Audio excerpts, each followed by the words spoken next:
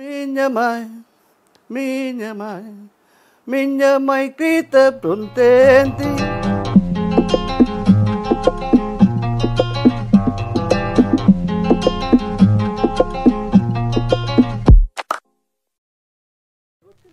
සීඩ එක තියෙනවා. ඔක්ම දාගන්න අපි ඇරිලා චක්‍රවර්ති පරපුර අපි. හරි. මම ලක්ෂපතිය පර්සි රාජපක්ෂ මම ඇත්තම බයිල කලාවට ඇතුල්ලු වනේ එක්දා නවස හැත්ත පහේ මගේ මේ ගුරුන් වහන්සේ කොම්බනයේදී ආනතිස්ස මං වැඩ කරේ දව සංස්ථාවේ. හරි? ඒ කාලේ හැම්ම දෙයම බයිලා. බයිලා තියෙනවා. ඉතින් අන්තිට මම් බැලුව කරන්න බෑ. මොකොද හැම දෑම නෝපී නෝපේ නෝපේ නෝප. ඉති හරියන්න ඒකමට මං බැලුව මේ දෙකෙන් එකක් තෝරගන්න. මං ජොබ් එක අයින් කරලා බහිල කලාව තෝරගත්තා.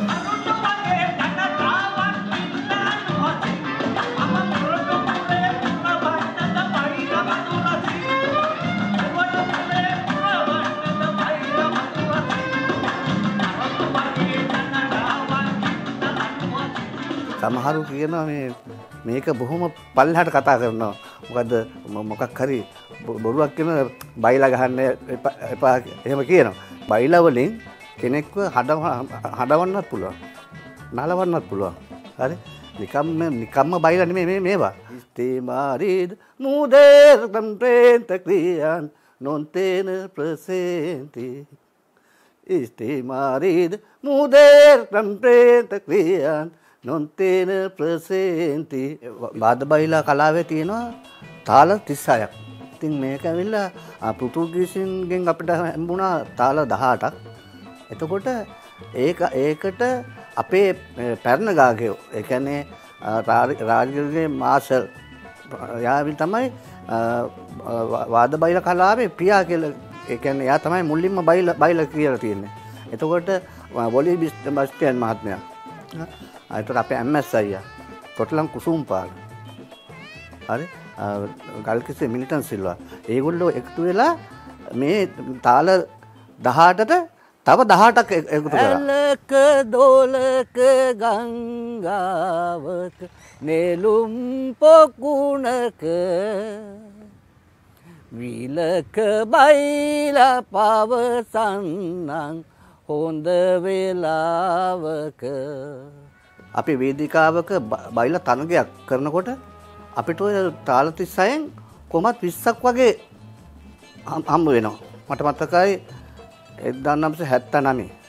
හැත්ත නමේ තිබුණ දෙහිවල කරගම්පිටිය ලොකු බයිල. එක තමයි අඩි තුනයි අඟල් ලටයි කප් එක.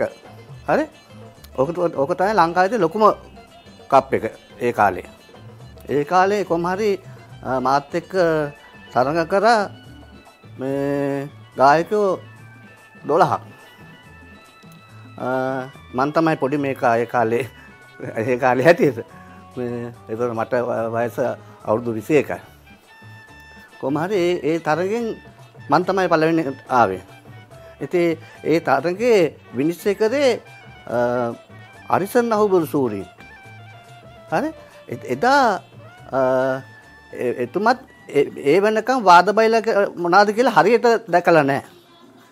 අරිස නම්බ සූරින් එදා කිව්වා මේ බයිල කලාව කියන්නේ අපි මාත් දැක්කේ අදයි හරියට දැක්කේ මේ බයිල කලාව කියන්නේ මේක අහගතාන්න පුළුවන් කලාවක් නෙමේ මේක ඇත්තෙන්ම පාසල් මට්ටමෙන් ළමයින්ට උගන්න ඔන්න ඕන දේරක් කිව්වා. අනිත් එක්ක බලන් අනිත් එක්කන බලන් ඉන්නේ මාව වට්ටන්න. මම බලන්නේ යාව වට්ටන්න. ඒක තමයි වාද බයිල කලාවේ හැටි.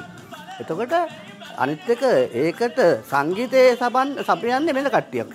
ඒගොල්ල ඒගොල්ල කවදාවත් අපි අපිට අපිට නැහැ ඒගොල්ලන් ජොබ් එක නෑ ඒගොල්ල කරන්නේ. හරි? අපි මේ වෙලාවට අපිට දෙන මාතෘකාව ඒක එක. ඊට පස්සේ දෙන තාලේ. හරි? අනිත් එක අපේ ටෙම්පෝ එක, පිච් එක ඔක්කොම හදාගෙන හරි? දැන් අපි බයිලක කියනකොට මායි තව එක්කෙනෙකුයි කපිටින තාලෙන් කිව්වත් කිව්වොත් එහෙම ඇත්තෙන්ම මට කාවිල් කාලේ තියෙන්නේ ඔක්කොම කාලය යන්නේ තප්පර 16යි. ඒකෙන් මම තප්පර 8ක් අරයා කියන බයිලක අහන්න උනා. හරි? එතකොට ඊට පස්සේ එයාට එයාට මම උත්තරේ දෙන්න දෙන්න තප්පර 8කින් හදලා. හරි ඒක ඒකයි මම කියන්නේ වාද වෙල කළා අමාරුම කලාව මේක. නම්මුනාම ගෙන හරියට හම්බ කරන්න. මම බිම්බෝම් වාට වන්න ගෙම්බො මරන්න. මම බිම්බෝම් වාට වන්න ගෙම්බො මරන්න. නම්මුනාමගෙන හරියට හම්බ කරන්න. තේජවන්ත පද කිව්වත් නිදං හැම කල. මම රාජබොජුන් බෙදන්නේ නෑ කෙසෙල් කොල්ලවල රාජබොජුන් බෙදන්නේ නෑ කෙසෙල් කොල්ලවල ඒ තේජවන්ත පද කිව්වත් ඉඳං හැම කල. අනෙන්න තබං එපා ගාතයෙයි දක්කං ඔබ. මං වගේ පදක් කල්ලබා නැහැ මේ පටික්කම් බබා. පදක් කන් ලබා නැහැ මේ පඩික්කම් බබා. නොගත්තං ඉබාගාතේ ඉලක්කං ඔබා. මට පුත්තෝ නෑ. හරි?